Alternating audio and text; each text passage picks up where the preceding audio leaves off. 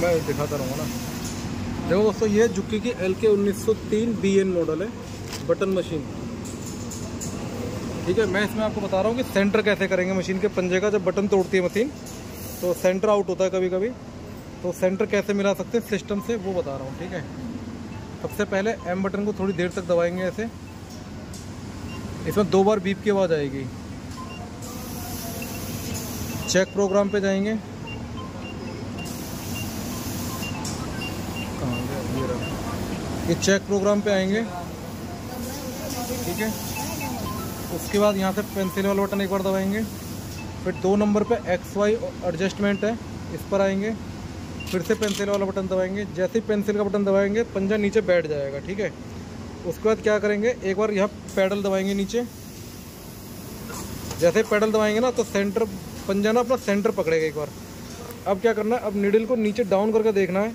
कि दोनों होलों के बीचों बीच निडल जानी चाहिए, ठीक है? जैसे अभी वैसे चार होल पे करते हैं हम, लेकिन मैं दो होल पे बता रहा हूँ आपको। दोनों होलों के बीचों बीच निडल होनी चाहिए। अगर निडल लेफ़्ट या राइट कहीं गलत जगह जा रही है तो आप यहाँ से इसे मूव कर सकते हो पंजे को। देखो, ये छपे हुए हैं एक्स वाला बटन है, ये अप डाउन की जो की है, उससे पंजा लेफ़्ट और राइट जाएगा। और ये प्लस वाला और माइनस वाली जो की है, इससे पंजा अप और डाउन जाएगा। ये एरो भी बने हुए हैं। अब देखो, मैं करके दिखाता हूँ, जैसे यहाँ से देखो। ये मैंने डाउन वाला बटन दबाया अभी तो देखो पंजा। इस तरफ़ मूव कर रहा है। अप वाला बटन दबा रहा हूँ तो पंजा इस तरफ़ मूव कर रहा है, ठीक है? अब देखो माइनस वाला बटन दबा रहा हूँ तो पंजा बैक जा रहा है। और प्लस वाला बटन अभी देखो क्या है ना, इसमें एरर आ गया, ज़्यादा बैक कर दिया मैंने इसलिए। मैं इसे बंद करके दोबारा चालू कर लेता हूँ। ठीक है, ये देखो अब यहाँ से अगर माइनस करते हैं तो पंजा बैक जा रहा है। यहाँ देखो अब।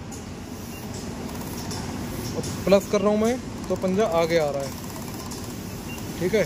अब आपको क्या करना है? अपने अकॉर्डिंग जहाँ पे आपको लगे ना कि निडल के एकदम बीचों बीच गिरना गिरना चाहिए। जैसे यहाँ से आप सेंटर कर लोगे, जैसे अभी मेरे को थोड़ा सा लेफ़्ट में लाना है इसे राइट में। ये आ गया। अब देखो, ये एकदम निडल के बीचों बीच आ गया निडल ठीक है? हॉल के बीचों बीच निडल आ गई। जब आप निडल के बीच यहाँ से कोई वैल्यू चेंज करोगे ना तो ये यहाँ पे वन और टू आ रहा है। इसे सेव करने के लिए ये बटन दबाएँगे।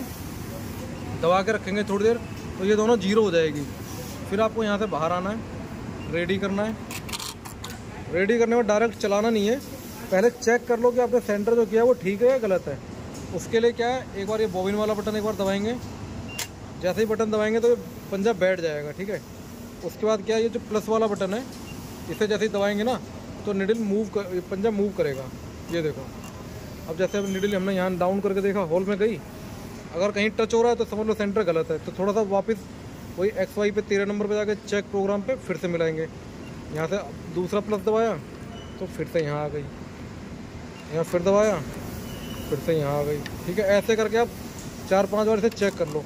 जब आपको लगे बिल्कुल ठीक है तो ये हैथ वाला बटन है यहाँ पर इसे दबाएँगे मशीन वापस अपनी पोजिशन पर आ जाएगी फिर चला के देखेंगे इसे। ऐसे ही चला के देख लो तो ये देखो, एकदम परफेक्ट है। ठीक है? तो इस तरीके से करते हैं फोसिन का सेंटर